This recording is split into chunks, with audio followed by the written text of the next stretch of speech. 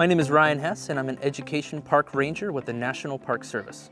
I'm here with 38 students from Sigsbee Charter School, 7th graders, and we are here on a, a rare event in that it's a field trip bringing school kids, local kids from Key West, out to Fort Jefferson. For many of these kids, it's the first opportunity, believe it or not, for them to be in Dry Tortugas National Park. I'm Don Finnefrock, Executive Director of the South Florida National Parks Trust. Uh, the Trust is a friends group for the national parks in South Florida, and we support education programs in all four national parks, including Dry Tortugas. Why don't you take one, pass it around. I gave each of the students uh, a pamphlet, our Dry Tortugas Expedition Journal, and in this journal they are more or less detectives. They're finding artifacts, to support evidence that tell the stories of this park. You guys are going to be on a mission. We were given a pamphlet and then we had our opportunity to walk around the fort and try to find artifacts on how the fort was used as a coastal defense, like there's cannons and the lighthouse. And then also we were used, we had to find like artifacts on how it was used as a prison, like the prison cells and like the, the sizes of windows.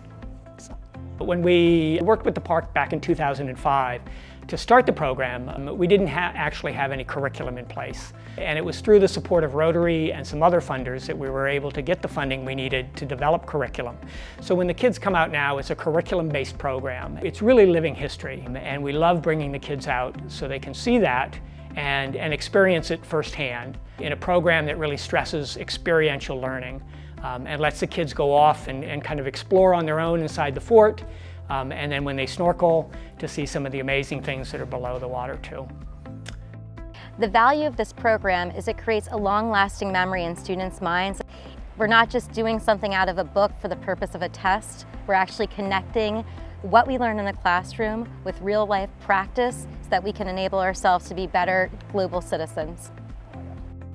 Um, when I'm working with kids in the park, to me the, the most inspiring or rewarding thing is seeing just that discovery that they get.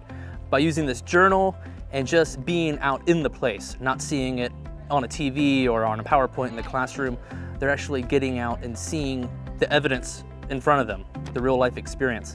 It gives them an experience that they'll carry with them the rest of their life and perhaps start them on a path of conservation and stewardship for the national parks here in Florida and, and all across the country. Uh, I think national parks are important because places like this and other places, they have special history or special wildlife that needs to be kept alive and growing. These are truly special places and they belong to all of us and we all have a stake in preserving and protecting them.